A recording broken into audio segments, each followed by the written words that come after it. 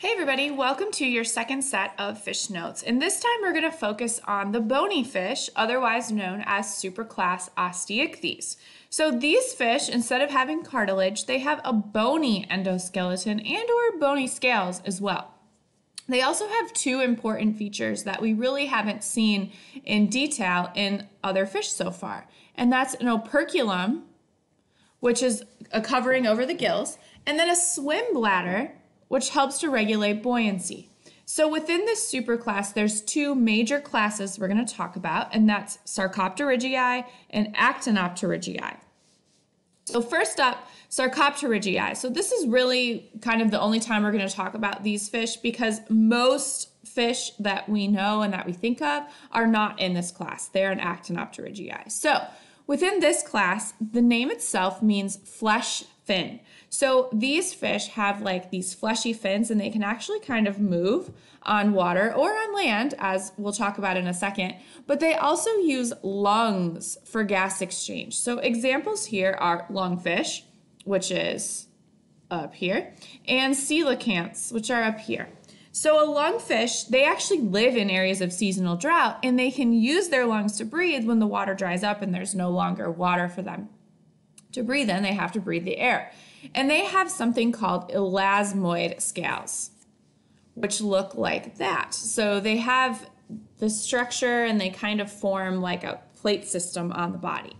Coelacanths, on the other hand, are pretty unique. So originally they were thought to have gone extinct over 65 million years ago. So, except someone found one in the 30s off the coast of South Africa. Well, then in the 70s, another species was even found off the coast of Indonesia. So these are very, very, very old fish, but they are still around, much to our surprise, in the 30s. And they have something called cosmoid scales, which look like that picture down there. So these are very, very plate-like and they protect the animal very well. So within class Actinopterygii, this name itself means ray fin. So they don't have those muscular lobes that we saw in the lungfish or the coelacanths, but they do still have that swim bladder to regulate their buoyancy. And within this, there are two major subclasses. So I know we keep breaking it down and breaking it down, but there's subclass Chondrostei and then subclass Neopterygii. So within that subclass, there's also two infraclasses. Don't panic yet. We'll get into them in more detail, I promise. So but let's talk about the scales. So chondrostei have something called ganoid scales, which look like that down there. They're kind of like diamonds. And then Neopterygii have leptoid scales, which can either be cycloid or ctenoid. Okay, so both of those are more of a circular shape.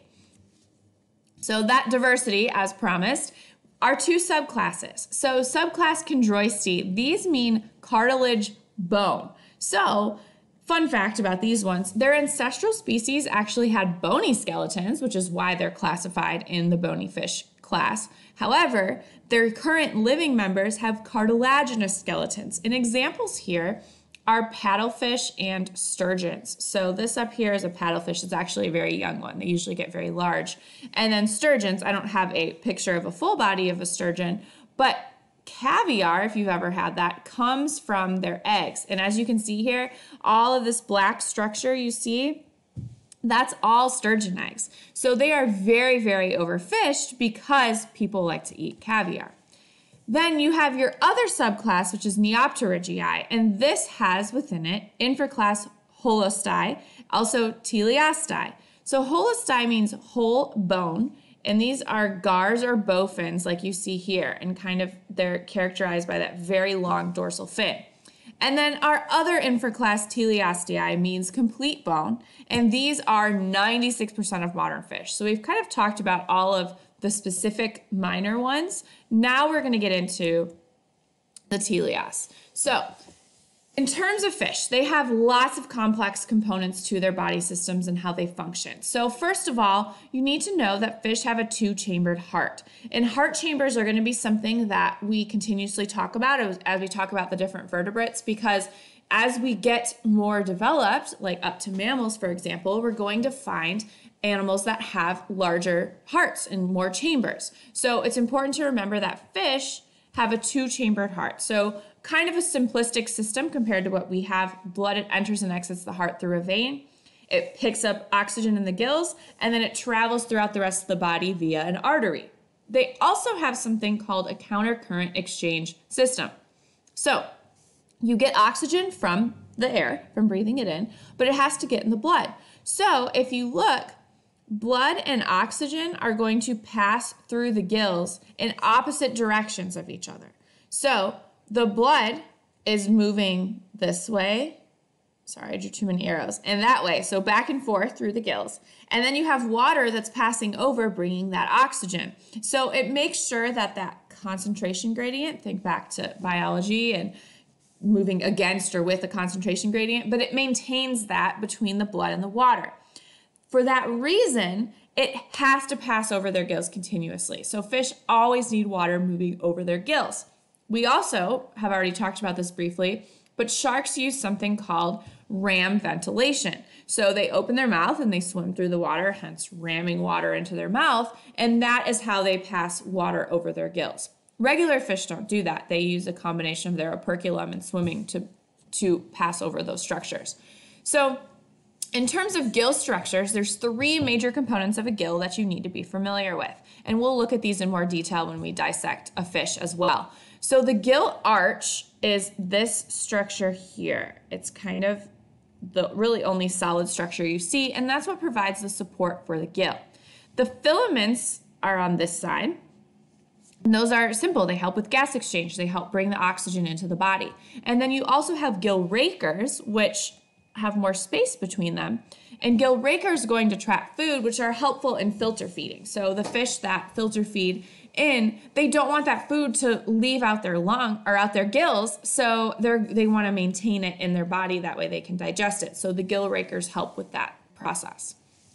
We've also talked a little bit about buoyancy in terms of sharks, but other fish have a swim bladder. So this is how they maintain their buoyancy. So it kind of works sort of like a balloon, right? They fill it up with gas when they want to move up and they squeeze all the gas out and they want to move down. So it helps them kind of move within the water column. Sharks don't have this, so they rely on their cartilage skeleton, which is very light. They also have a very oily liver. So fish in general are oily, especially in the liver area, but sharks have an extremely oily liver. And then the ones that do have bony skeletons, they are in general less dense to help with that buoyancy. So, interestingly enough, when fish are out of water, you might think, oh, they die because they're out of water, their skin dries out, whatever, they can't move, whatever you want to think about that. But the reason why they actually die is because their gill arches collapse. So, if we go back to this picture here, the gill arches are that kind of structure that rely that the gills rely on to maintain their area. That way they can bring in the oxygen. So if the arches collapse and they break down there's not all that space for gas exchange to occur anymore. So the fish actually suffocates because their gill arches collapse. Some fish like we've talked about have lungs so they can live in dried up areas outside of water. But for the most part fish need to be in water to breathe. Also Fish can suffocate in the water too. So things like red tides and algae blooms are going to use up all of the oxygen that's in the water. And then these fish also can't breathe because there's no oxygen to take into their bodies, which is why you see big mass killings of fish in areas of red tides and algae blooms. So in terms of their nervous and sensory functions, fish are actually pretty cool. So they have something called an external nare, which is located in the snot or snout, sorry, or inside their nose, and it leads to these receptors that basically tell them where they need to go. It gives them clues. So this is a prime example here is why salmon often return to the same exact stream where they were born to spawn. And salmon only do this once in their lifetime. So they remember from the smell and then they go back. Fish also have something called electroreception. So they can detect electrical fields and fish that generate these things. So this is highly, highly developed in sharks and rays. And then lastly, they have a lateral line system. So they have these pits on their skin that help detect water current changes, pressure changes, vibrations nearby. So it's it's good in two ways. One, it helps them find prey if they're a predator fish, but two, it also helps them avoid predators if they're a prey fish. So, with that being said, I wanted to briefly talk to you a little bit about electric fish. So electric fish have the special electric organ, very uniquely named, I know. But it has it's in the tail. And so they have those electroreceptors near their head and they have this organ in their tail and it circulates a current. So when an object enters that field of current, the pattern changes and they're like, "Oh, something's nearby." So this is really common in fish species that live in murky waters. So as you even can see here, this eel, his eyes are very small. So he relies on this this current to help find prey. Some fish also can be electroreceptive, like we talked about. They can sense this electricity, but they themselves cannot generate electricity. But examples, two common examples are electric eels, which you see pictured, and electric rays. So in terms of locomotion, fish have a very streamlined shape. If you've ever gone fishing before, they're slippery, right? When you try to take them off a hook, they can slip right out of your hand. So they do have these mucus secretions that lubricate their body to help them move through the water more easily. And then they also have something called myomeres, which are these zigzag bands of muscle. So if you like to eat fish, you may have seen something like that before. That's actually the muscle bands within the body. And 80% of this fish has these muscles for swimming. So fish are going to swim back and forth. Their tail would go that way, then that way, then that way. So they move like this, right? Imagine like a shark swimming. So, in terms of reproduction, we talked in detail about shark reproduction. Fish reproduction is a little different in that a majority of fish do something called external fertilization. So, as pictured over here, the female is going to lay her eggs, which are not fertilized, and then the male is going to swim over and drop his sperm over the eggs.